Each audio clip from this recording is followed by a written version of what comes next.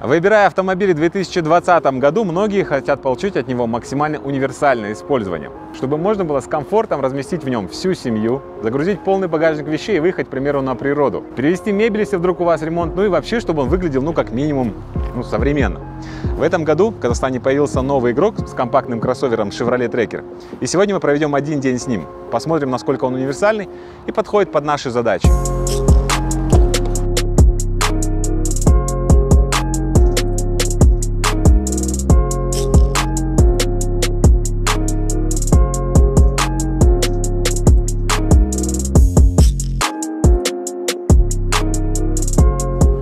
Как раз реальная ситуация из жизни. Мы едем утром по пробкам, тянемся по такому самому загруженному проспекту в нашем городе. И у меня есть время и возможность рассказать вам про такие эстетические ощущения от автомобиля внутри салона.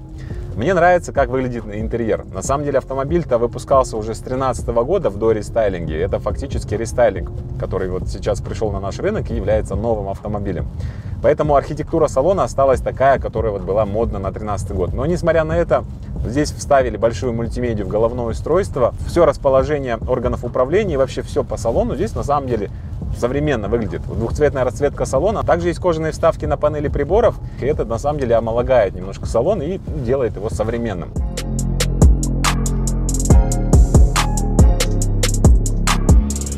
Ну и первое, что важно, наверное, в современном кроссовере, это удобно расположиться за рулем и иметь хорошую обзорность. И здесь на руку трекеру играют два фактора.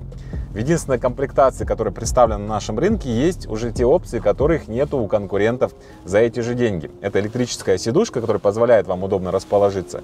Ну и регулировка руля по высоте и по вылету. Это тоже большой плюс, которых нету у конкурентов. Далее, хорошая обзорность, которая достигается благодаря большому лобовому стеклу и вот таким форточкам в дверях, которые опять же уменьшают слепую зону на стойках. Таким образом, вы всегда видите пешеходов, которые проходят вот по пешеходному переходу, когда вы поворачиваете, к примеру. А далее идут уже опции, опять же, которых нет у конкурентов за эти деньги. Бесключевой доступ в автомобиль, запуск ключа, push-старт, автоматическое включение ближнего света, круиз-контроль, голосовое управление мультимедиа, которое, кстати, здесь поддерживает Apple CarPlay, Android Auto. Единственное, чего мне не хватает, это, наверное, беспроводная зарядка, к которой мы уже привыкли в современных автомобилях.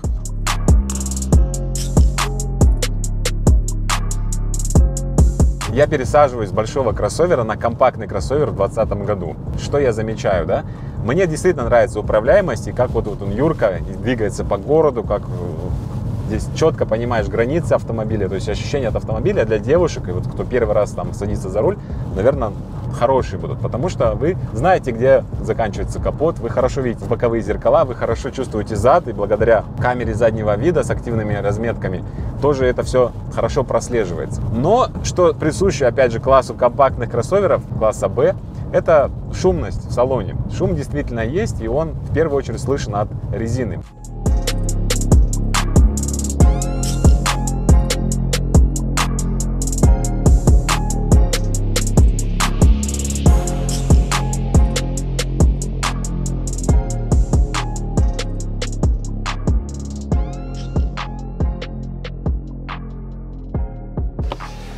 Но немаловажно, чтобы в современном компактном кроссовере, в том числе и универсальном автомобиле, были понятные и простые агрегаты.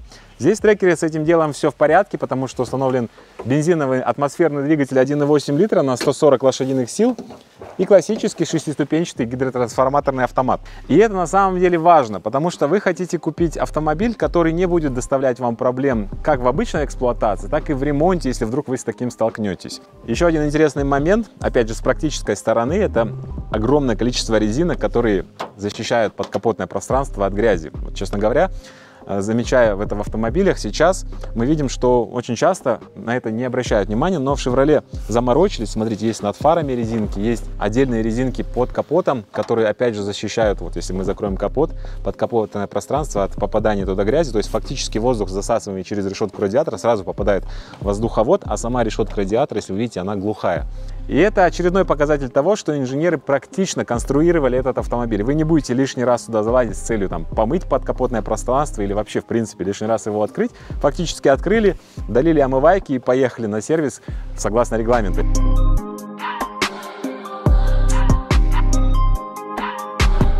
Комплектации установлены передние и задние противотуманные фары, но если вы заметили, в фарах ближнего света установлены галогеновые лампы. Но если вы смотрите моих российских коллег-блогеров, то вы уже, наверное, знаете, что вот такие линзованные галогеновые фары светят лучше, чем современные диодные в рефлекторной фаре. И это уже подтвержденный факт, поэтому мне кажется, лучше иметь хороший ближний свет с галогеновой лампой, чем весьма посредственный диодный, но в рефлекторной фаре.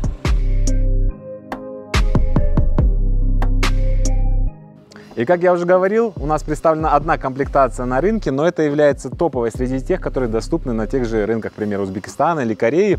Называется она «Премьер», поэтому сейчас мы имеем диодный повторитель в боковых зеркалах, диодную заднюю оптику, конечно же, рейлинги на крыше, парктроники и камеру заднего вида. Согласитесь, эти те опции, которые необходимы в современном автомобиле, и при этом они здесь идут сразу по умолчанию. Объем багажника составляет 356 литров, ну а при сложенных сиденьях второго ряда у вас получается огромное пространство в 1370 литров. Но давайте будем честными, никто из вас даже, наверное, не представляет, сколько 1370 литров пространства в салоне. Давайте вот ситуация из жизни. Вы купили новую квартиру, вам необходима техника, за которой вы поехали в магазин, купили холодильник, телевизор, и теперь все это дело вам необходимо отвезти из магазина электроники домой. Понятное дело, что в седан это вы не разместите, как бы вы это ни хотели, просто потому что конструкция багажника там совсем другая. У нас есть Chevrolet Tracker, и у нас есть холодильник. Ну, на самом деле, это коробка от холодильника, но понятное дело, что она и покажет, сколько у нас места в багажнике. Закидываем холодильник, закидываем телевизор. Кстати, 43 диагонали. И все, вы спокойно едете домой. Это и есть те самые 1370 литров, чтобы вы понимали именно уже предметно на практике. Здравствуйте. Д Здрасте. Новая машина, да? Я не мешаю? Давайте уже теперь, да. Теперь уже давайте. Поговорим. Чья сборка? Казахстанская. Теперь уже собирается в Казахстане.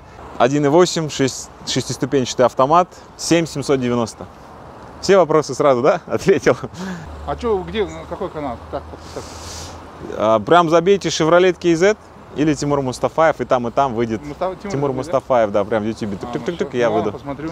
Давайте. Но если у вас вдруг груз не поместился в багажнике, всегда есть возможность закрепить его на крыше, на рейлингах, которые опять же идут по умолчанию в этой комплектации, будь то велосипед или там огромная дверь, которую можно перевозить в ремонте. Что касается места для пассажиров второго ряда, что немаловажно в компактных кроссоверах этого класса, напомню, что это B-класс, и мой рост составляет 187 сантиметров, водительская сидушка отстроена под меня, и у меня на самом деле хватает пространства для того, чтобы удобно здесь усесться, имеется даже небольшой запас, большой запас для ступней и небольшой туннель между сиденьями второго ряда. Да, здесь нет USB-зарядки для мобильных гаджетов пассажиров второго ряда, и даже нет подогрева на втором ряду сидений, чего я хотел бы получить, конечно, в автомобиле в этом классе, но мы имеем подлокотник с двумя подстаканниками, три подголовника и вполне себе удобное расположение, опять же, на втором ряду сидений. Есть кармашки в передних сиденьях, крепление детских кресел и на самом деле даже двум взрослым людям здесь можно будет вполне себе комфортно расположиться в дальней дороге и при этом не испытывать каких-то дискомфортных чувств. Опять же, если у вас какая-то неудобная конструкция салона или еще что-то не продумано, в трекере все делали давно, с умом, и поэтому, мне кажется, это большой плюс, опять же, для этого класса автомобилей. Я решил поддержать водовоз челлендж и узнать, сколько помещается бутылочек 0,5 воды в этот новый Chevrolet Tracker. Итак, у нас две помещаются в передние двери, две там, две там. Четыре места для бутылок в подлокотнике. На самом деле здесь еще есть место для пятой бутылки, но мы не будем читерить. Далее. 4, 2, 2. Итого 8 бутылок спереди. Сзади у нас по одной бутылке в дверях, несмотря на то, что здесь большие кармашки, всего лишь одна бутылочка 0,5 помещается в дверь. Еще две в подстаканниках, итого раз, два, три, четыре. И по три бутылки помещается в кармашке передних сидений. 10 бутылок, 3, 3, 6 и 4, 10 бутылок сзади. Итого 10 плюс 8, 18 бутылок воды помещается в салоне Chevrolet Tracker. Еще один немаловажный, но практичный момент, который, к сожалению, некоторые автопроизводители упускают, это дверь, которая закрывает здесь полностью порог. Мы имеем резинку не только на самой двери, но и на самом пороге. Таким образом, ваши штаны при посадке, опять же, в автомобиле, выходе из него не будут грязными даже в слякотную погоду. И это, опять же, практично и удобно. Но для того, чтобы измерить его внедорожные характеристики и то, как он ведет себя на гравийке, на бездорожье, мы сейчас выйдем специально на эту локацию и покажем, как он ведет себя в тех условиях.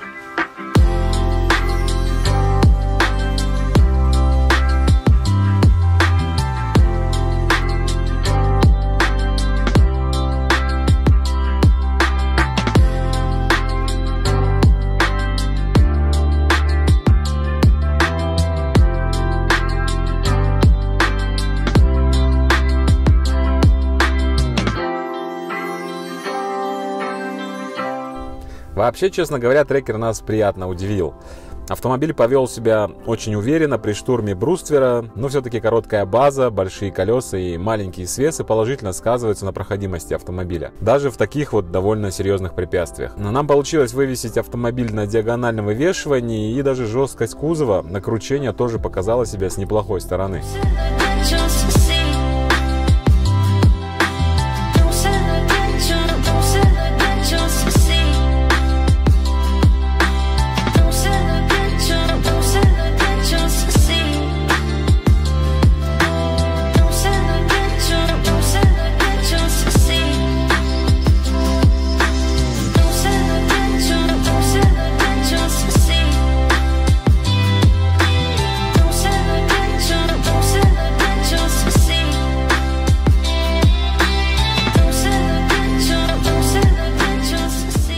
Ну и, конечно, покупая компактный кроссовер, вы хотите как минимум, чтобы он был проходимым, чтобы можно было выехать на нем с семьей куда-то за город, посмотреть достопримечательности вашей, к примеру, Алматинской, той же самой области.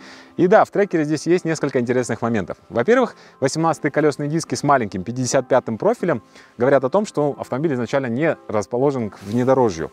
Но короткие свесы плюс 168 мм клиренс автомобиля и вполне себе премиальные шины Continental Conti Premium Contact 2 в связке дают неплохую проходимость. Все это в купе дает вам возможность действительно заехать в легкое бездорожье. К примеру, вот тому самому берегу озера, куда вы можете максимально близко подъехать. И на самом деле больших претензий к внедорожным характеристикам у трекера у меня ну, нету.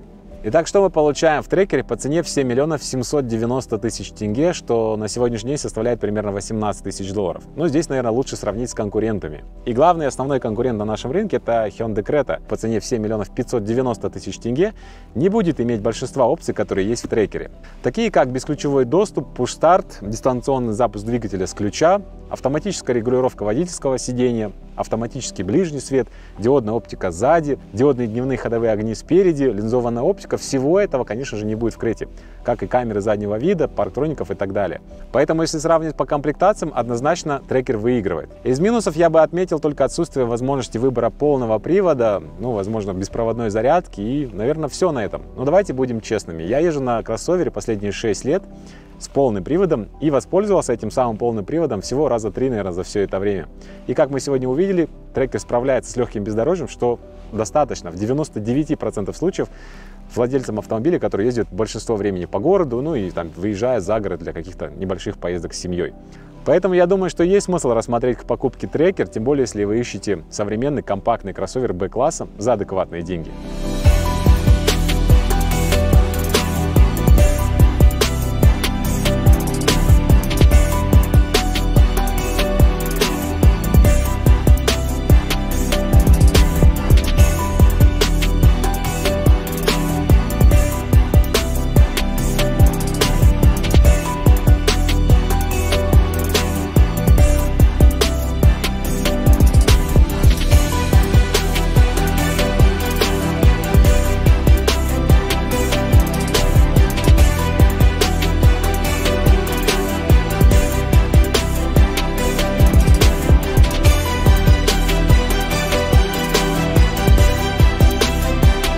Итак, что мы имеем по итогу одного дня с Chevrolet Tracker? Как выяснилось, автомобиль действительно универсальный и подходит под многие задачи в рамках городского использования.